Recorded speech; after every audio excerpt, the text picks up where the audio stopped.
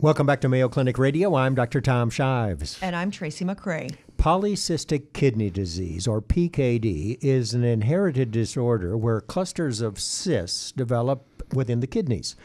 The cysts cause the kidneys to enlarge and lose function over time. Now, the cysts are benign, that is, they're non cancerous, uh, they're, they're sacs that are filled with fluid. PKD can also cause cysts to develop in other parts of your body, mainly the liver. The disease can cause serious complications as well, including high blood pressure and kidney failure.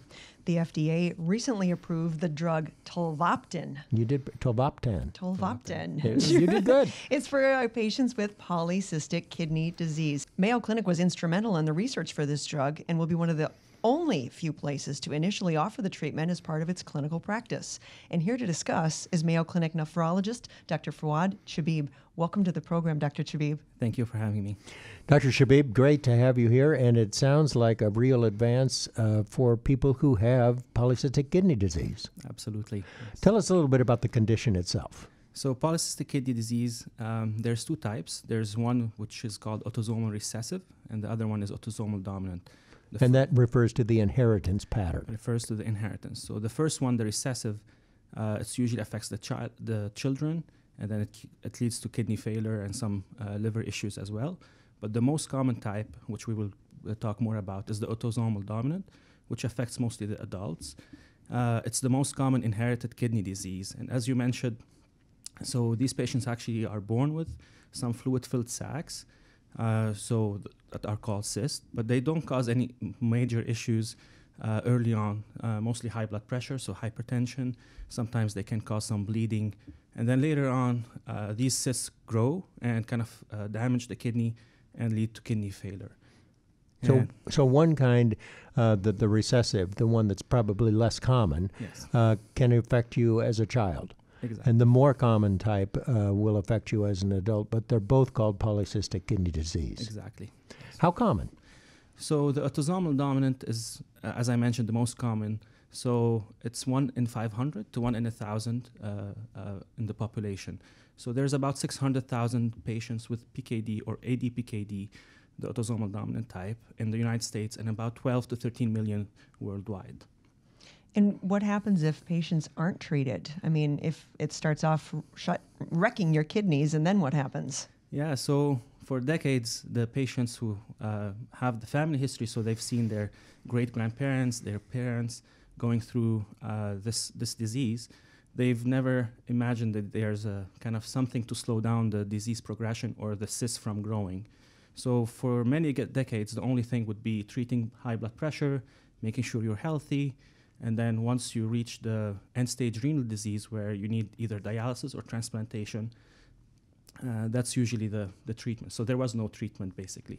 And for the past uh, decade and a half, about 15 years, uh, so here at Mayo Clinic, uh, Dr. Torres in his lab, Vicente Torres, kind of found what's the basis of uh, these cysts from, uh, that leads to the cyst to be growing and filling with, with fluids uh, and found that if we target uh, the V2 receptor, so that's the receptor that the thirst hormone acts upon on the kidney, if you block that receptor, then you lead to lower what we call cyclic AMP. So it's a molecule that drives the for- that drives the cyst for, uh, in growing and filling with cyst.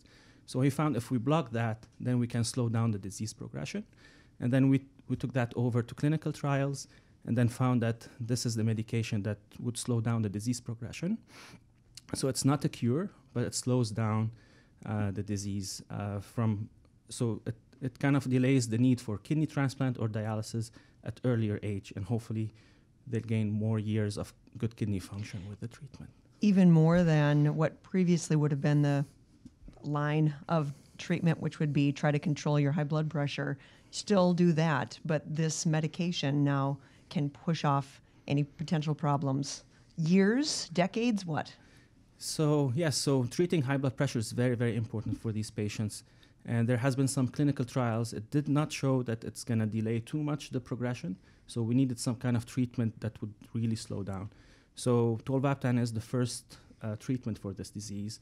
Uh, so usually the best is to start the patients on these uh, on this medication early on.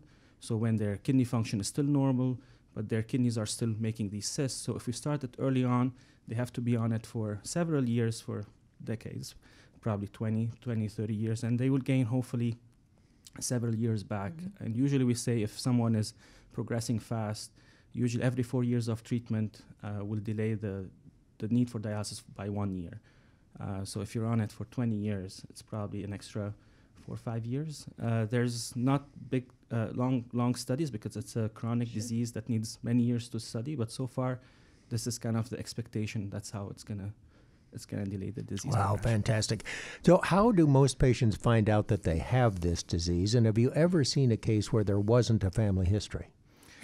Uh, so mostly, uh, the majority of the patients would have someone in the family that has this disease, and they've been so familiar with that. Usually, we diagnose by screening with an ultrasound. Uh, so, you actually look at the kidneys and see the cysts. Exactly. So we look at the kidneys, we see the cyst, and we have kind of criterias on how many cysts, and depending on the age, because the mo- the older you are, the more cysts you'll have.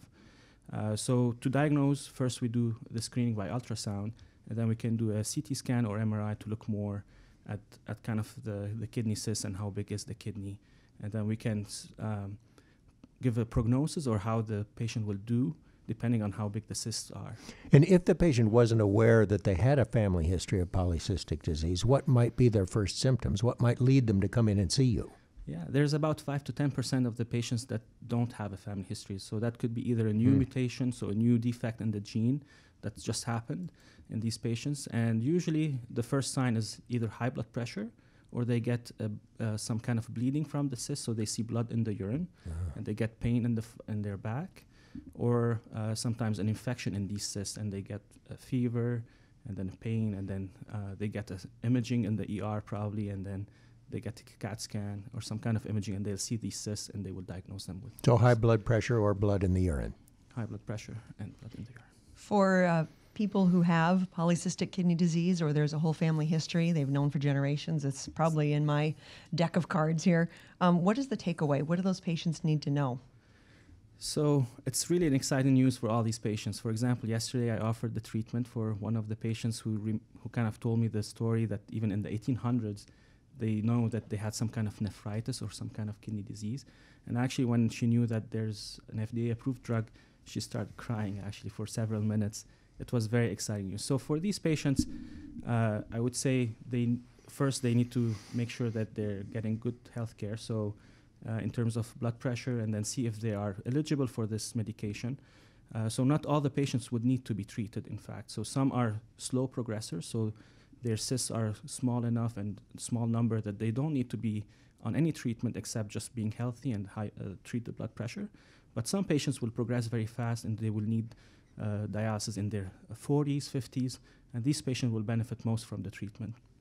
So it's important for these patients to be checked to know where they kind of are are they slow or fast progressing and then uh, probably screen their kids as well now that there's a treatment we're recommending that these patients if they are ad- uh, the, the kids if they are adults uh, to kind of be checked for for this disease because there's something to do about it now Is the drug widely available? uh, so it's kind of where, where it's very new. So it just got approved in May and in the market uh, as of June. And at Mayo Clinic, we just started this month the the clinic because there's many logistics around this medication. It's uh, regulated by the FDA, and we need a lot of blood testing every month for the first year and a half. So now we have the support staff, the nurses that are uh, involved with us, and the physicians. So it is available. Um, it's kind of expensive drug, so probably it's still new and how the insurance will cover and so forth. But we're working with all the patients who are asking about it, and we're kind of uh, uh, doing some awareness to kind of let these patients come to their uh, kidney doctors, be checked, and also check their kids. And what's next in the research? Uh, a lot of things are exciting actually at Mayo. So we have uh, great Mayo PKD Center, and we do a lot of translational research in a way that we do uh, research in the lab and try to translate it to the patients to, to get new treatments. So we have a new target actually we're very excited about, and a couple of drugs, uh, medications that could be effective. So hopefully that would be the next uh, good treatment for PKD uh, to help not only slow down but hopefully cure the disease and not have any patients needing dialysis or transplantation. Wow, that would be fabulous, wouldn't it? All right, the new drug is called Tolvaptan, and our guest, Mayo Clinic nephrologist, kidney specialist, Dr. Fouad Chebib. Dr. Chebib, thanks for being with us. Thank you for inviting me.